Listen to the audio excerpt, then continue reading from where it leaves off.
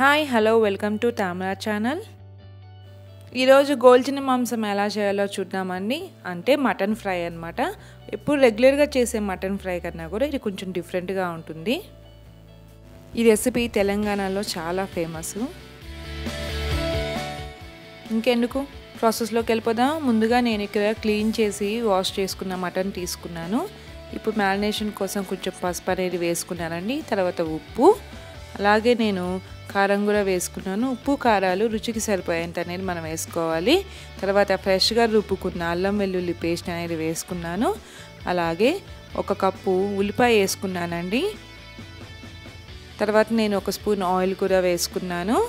అలాగే కొంచెం పెరుగు అనేది వేసుకుని ఇవన్నీ కూడా మంచిగా కలిపేసుకుని ఒక గంట సేపు పక్కన పెట్టుకున్నాను. లేకపోతే ఒక ముప్పై నిమిషాలు మీరు రిఫ్రిజిరేటర్ పెట్టుకున్నా సరిపోతుంది.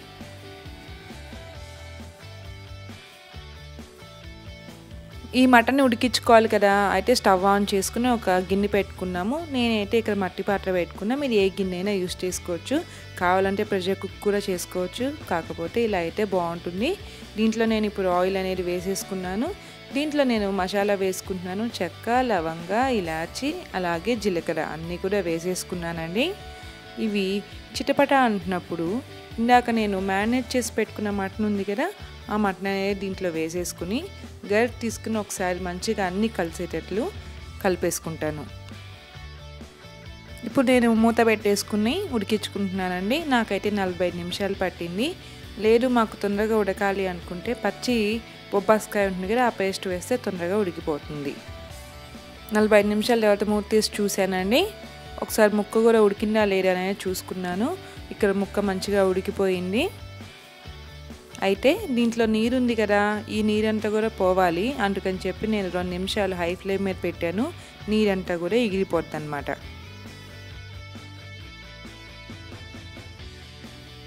ఇప్పుడు నేను దీన్ని పక్కన పెట్టేసుకుని ఒక కడాయి పెట్టుకున్నానండి. ఇప్పుడు నేను మీకు చూపించేది ఏంటంటే రెగ్యులర్ మటన్ కన్నా డిఫరెంట్ ఏంటి అంటే ఈ పుట్నాల పప్పు వేయటమే అండి. పుట్నాల పప్పును నేను వేసుకుని ఒక రెండు నిమిషాలు మీడియం ఫ్లేమ్ మీద డ్రై రోస్ట్ అనేది చేసేసుకున్నాను. డ్రై రోస్ట్ అయిపోయాక నేను దీన్ని ఒక గిన్నెలోకి డిష్ అవుట్ అనేది చేసేసుకున్నానండి. చల్లారిపోయాక దీన్ని మనం పౌడర్ అనేది చేసుకుని పక్కన పెట్టుకుని ఉంచుకోవాలి. అదే ప్యాన్లో నేను ఆయిల్ వేసుకున్నాను. మనం గోలించుకోవాలి మటన్ని అంటే ఫ్రై చేసుకోవాలండి. ఆయిల్ వేడెక్కాక దీంట్లో నేను జీలకర్ర రెండు బిర్యానీ ఆకు పచ్చిమిర్చి అలాగే కరివేపాకు కూడా వేసుకున్నాను. ఈ చిటపట అంటున్నప్పుడు ఇందాక ఉడకబెట్టుకుని ఉంచుకున్న మటన్ ఉంది కదా అది వేసేసుకుని మంచిగా కలిపేసుకోవాలి. ఒక ఐదు నిమిషాలు మనం నూనెలో ఎర్రగా వేయించుకోవాలండి మీడియం ఫ్లేమ్ మీద. ఇది ఎర్రగా వేగిపోయాక దీంట్లో మనం గరం మసాలా పౌడర్ ఉంటుంది కదా ఇంట్లో అది వేసేసుకున్నాము. అలాగే స్పెషల్ ఇంగ్రీడియంట్ మన పుట్నాల పౌడర్ ఉంటుంది కదా పుట్నాల పప్పు పౌడర్ అది కూడా వేసేసుకున్నాము.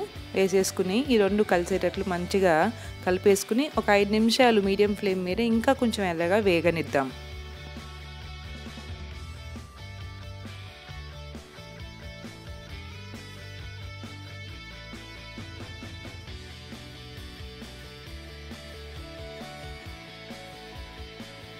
మన మటన్ ఎర్రగా వేగిపోయింది కదండి. ఇప్పుడు దీంట్లో మనం కొత్తిమీర వేసేసుకుని ఒకసారి కలిపేసుకుందాం. అంతే ఎంతో రుచికరమైన తెలంగాణ స్పెషల్ గోల్చిన మాంసం అనేది రెడీ అయిపోయింది. ఇది చాలా బాగుంటుంది రెగ్యులర్ మటన్ కన్నా కూడా చాలా బాగుంటుంది. తప్పకుండా మా ఈ రెసిపీని ట్రై చేయండి. అలాగే ఎలా ఉందో ప్లీజ్ కామెంట్ కూడా చేయండి. Thank you. మా ఛానల్ కానీ నచ్చితే మీరు సబ్స్క్రైబ్ చేయండి. పక్కనే ఒక గంట ఉంటుంది అది ప్రెస్ చేశారంటే మా అప్డేట్స్ అన్నీ మీకు వస్తాయి. అలాగే నచ్చితే ఒక లైక్ కూడా చేయండి.